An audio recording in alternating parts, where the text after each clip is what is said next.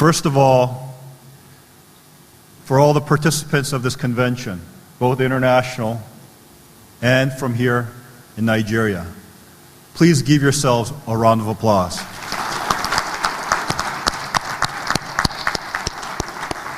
I know that the last two days have been very hectic in schedule because we wanted to make sure that as much can be brought out from this conference because it's you, especially the leaders here in Nigeria, that will need to carry the mantle forward to really bring about a substantial change in your communities and this great nation of Nigeria.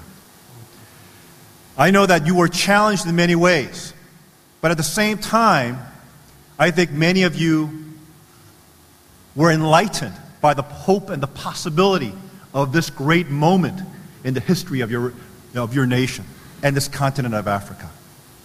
As I mentioned in my speech yesterday in the opening plenary, I believe Africa is in a moment of transition. You have reached a high pinnacle and yet there are greater heights before you if you are willing to take on the challenge. And I am so moved by the very fact in meeting and speaking to the various leaders in this nation that you are truly willing and ready to take that challenge.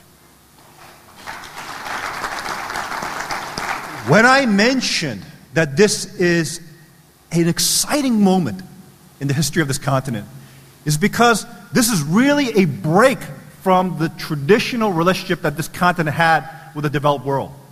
I believe that the developed world has lost its patina of credibility over the last several years with the breakdown of the financial system, with the lack of leadership on a global stage, dealing with very real problems that are facing many, many millions of people around the world.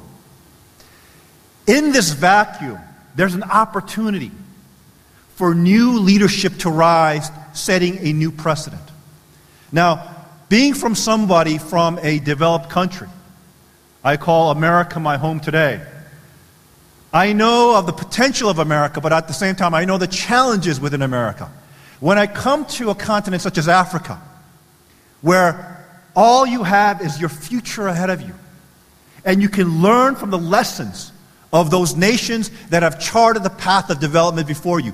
You can pick and choose the path to your development. This gives Africa and the developing world a tremendous bevy of opportunities to really chart the path for their development, for their prosperity, without sacrificing some of the more important things that many nations that came before you had to sacrifice for the sake of modernity. Now, as a Korean, I know this personally. Yes, Korea was at one, mo- one point in its history, South Korea, the poorest nation in the world after the Korean War. It was poorer than Nigeria. Yet today, 60 years later, it is the 12th largest economy in the world. The Korean people reached those heights because they chose to be self reliant. They chose to determine their own future. And in one sense, they bought into the whole Western model of development, even giving up some of the most cherished and most important parts of their culture and tradition, one of which is the Korean family. I believe that the developing world in Southeast Asia, in Latin America and in Africa can learn from these lessons. So they can chart a path for development that affects the lives in a positive way of all their citizens, but at the same time, do not lose something in the process.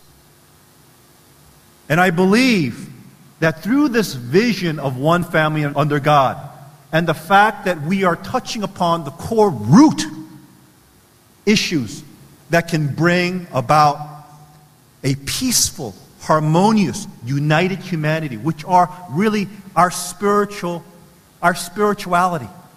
rooted in principles and values and a common spiritual vision. Now, in the past, many institutions, organizations, individuals, and nations have tried to deal and tackle with the issue of conflict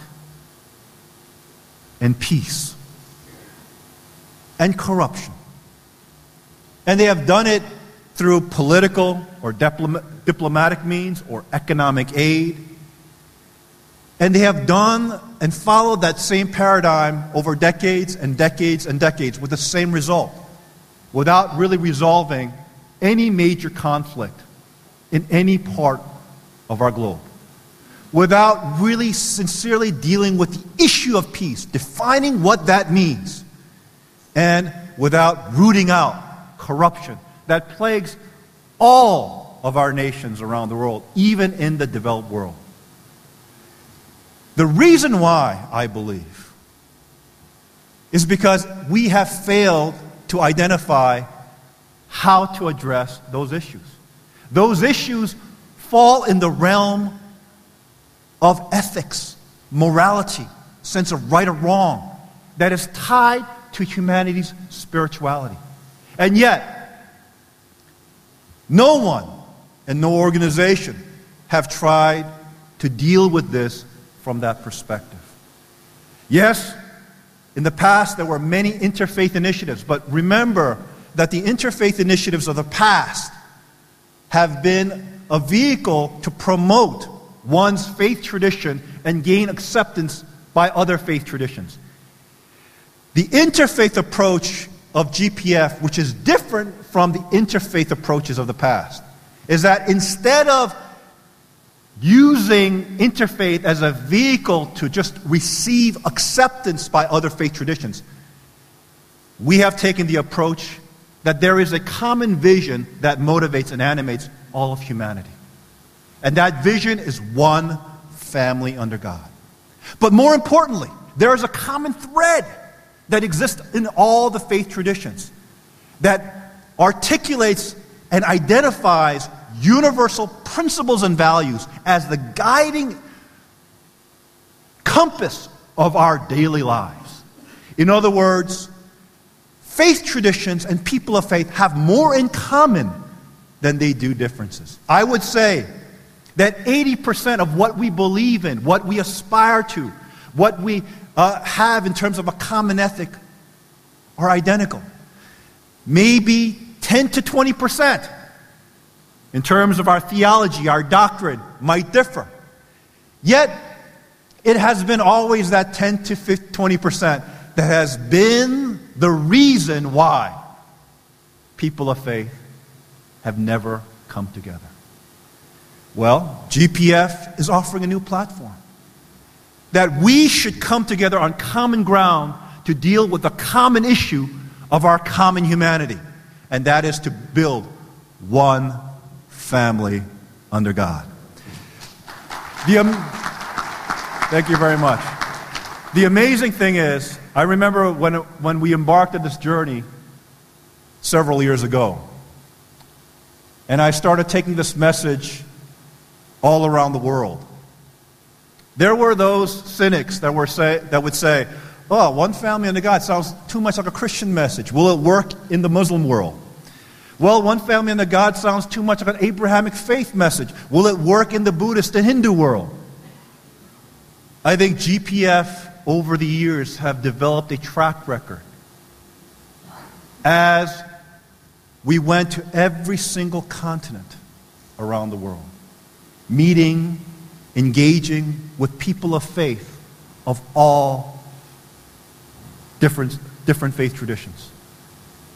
If you look at this panel today, we have a Methodist, we have a Muslim, we have a Jain, we have Christians, we have Hindus, we have white, black, American, African, Korean.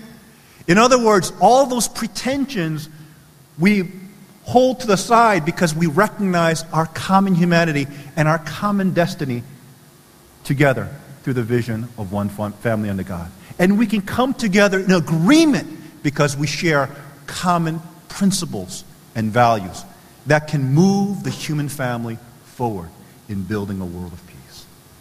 And I think that is the great contribution of this great work. It is a tremendous honor for me to come to this nation of Nigeria, the largest nation on the continent. You know, I was told, not by a Kenyan, but I was told, not by other Africans, I was told by everyone outside of Africa that if Nigeria moves, Africa will follow. Now, this is the first time that I came to Nigeria. Believe me, you showed me a lot.